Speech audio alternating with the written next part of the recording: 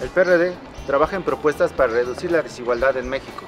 Una de esas propuestas es la implementación del ingreso básico universal o IBU como un derecho para asegurar la supervivencia de las y los mexicanos.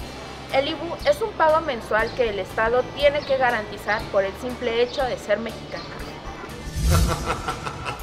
Se presenta como eje estratégico de la política social ante la problemática de una política social asistencialista y compensatoria.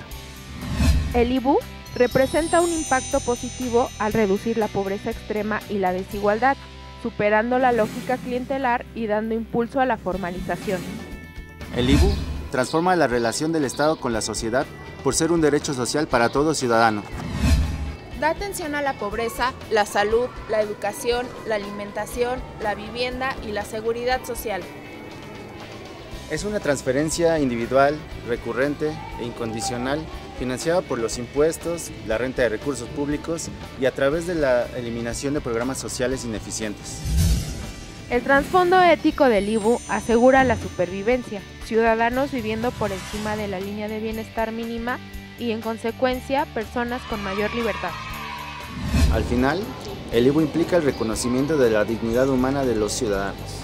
De nuestros ciudadanos. Este primero de julio, vota PRD.